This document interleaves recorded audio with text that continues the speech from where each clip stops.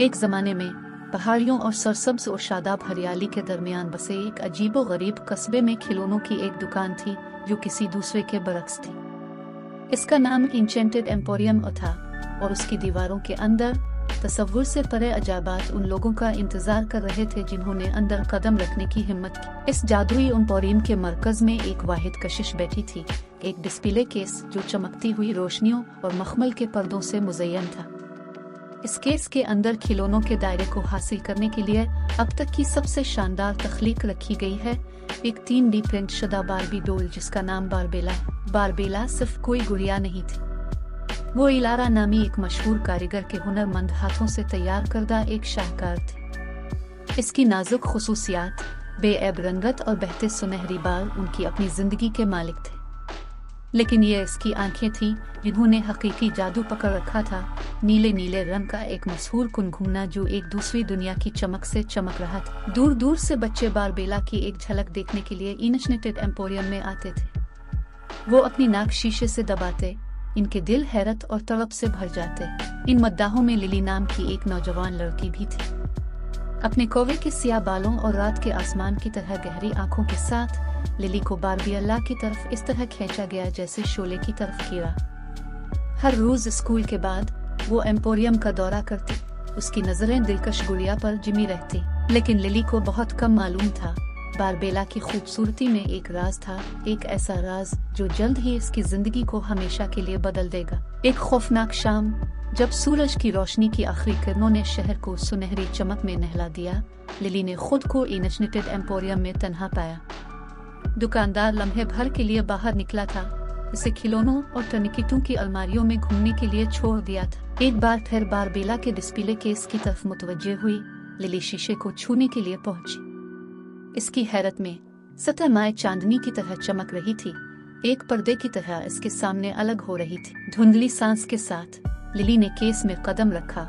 उसकी दुनिया रंगों और शक्लों के कुलेडोस्कोप में तब्दील हो रही थी। और वहाँ जादुई फूलों के बाग के दरमियान बारबेला खड़ी थी। उसकी आँखें खुशी से चमक उठी। खुश आमदीद, प्यारी लिली बारबेला ने आवाज़ दी। उसकी आवाज़ सोम बर्ड की तरह सुरीली थी। मैं आपका इंतज़ार कर रहा हूँ। लिली को अपनी आँखों पर यकीन नहीं आया। आपको मेरा नाम मालूम है। बारबेला ने सर हिलाया। उसकी मुस्कुराहट चमकदार थी। दर हकीकत आपके लिए सुबह की शबनम की तरह पाकिजा दिल है। ये आपकी मेहरबानी और शफकत ने आपको मेरे पास लाया है। जैसे ही लिली ने अपने अर्ध गिर्द के जादुई दायरे पर निगाह डाली, उसने किसी भी चीज़ के बरक्स हैरत का एहसास महसूस किया जिसे वो कभी नहीं जानती थी। लेकिन खूबसूरती और शान और शौकत के दरमियान एक सा नमूदार हुआ, एक तारीख मौजूदगी जिसने अपने रास्ते में हर चीज़ को लपेटने का खतरा पैदा कर दिया। शेडो क्वीन, बारबेला ने सरगोशी की, इसकी आवाज़ में दुख था। वो उम्मीद और खुशी की रोशनी को बुझाने के लिए दुनिया को तारीकी में ढांकना चाहती है। लेकिन प्यारी लिली, हम मिलकर उसके खिलाफ खड़े हो सकते हैं। अपने नए दोस्त की मदद करने के लिए पुरज्म, लिली ने शेडो क्वीन को फतेह करने और रोशनी को दायरे में बहाल करने की जस्तजू का आगाज़ किया। रास्ते में। इसका सामना बहुत सारी शानदार मखलूक से हुआ। एक अक्लमंद बूढ़ा अलू, एक शरारती सप्राइट और एक बहादुर नाइट जिसका दिल हिम्मत से जल गया। इनको दरपेश हर चैलेंज के साथ लिली मज़बूत होती गई। बारबेला के साथ इसका रिश्ता हर कदम के साथ गहरा होता गया। और जब इसके तारीख कले में शेडो क्वीन का मुकाबला करने का वक्त आया तो ये सिर्फ़ लिली ही नहीं थी, जो उसके खिलाफ खड़ी थी। बल्कि इतिहादियों की एक फौज मकसद और अज़म में मुतहिद एक ऐसी मरका आराई में जिसने ज़मीन की बुनियादों को हिलाकर रख दिया, अच्छाई ने बुराई पर फतह हासिल की और दायरा सेहर के गर्म गिले में नहा गया। जैसे ही शेडो क्वीन की शिकस्त की आखिरी बाजगश्त आसमान में मध्यम पड़ गई, बारबेला और लिली एक साथ खड़े थे।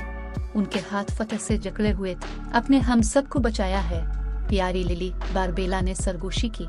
इसकी आँखें फखर से चमक रही थी। लेकिन अब का सफ़र खत्म होने से बहुत दूर है। जहाँ कहीं भी अंधेरा हो, वहाँ हमेशा वो लोग होंगे जिन्हें उनकी रहनुमाई के लिए उम्मीद की रोशनी की ज़रूरत और इस तरह। शुक्रगुजारी से भरे दिल और सुबह के सूरज की तरह रोशन मुँह के साथ, लिली ने जादू के आलम को अलविदा किया और अपनी दुनिया में वापस आ गई। लेकिन वो जानती थी कि इससे कोई फ़र्क नहीं पड़ता कि इसकी मुहिम जोई इसे कहाँ ले जाएगी। बारबेला की खूबसूरती की याद और उनके बांड की याद हमेशा के लिए इसके रास्ते को रोशन कर देगी। और इस तरह बारबेला की कहानी खत्म होती है। खूबसूरती, दोस्ती और मोहब्बत की लाजवाल ताकत की कहानी जो तारीख तरीन साय को भी फतेह करती है।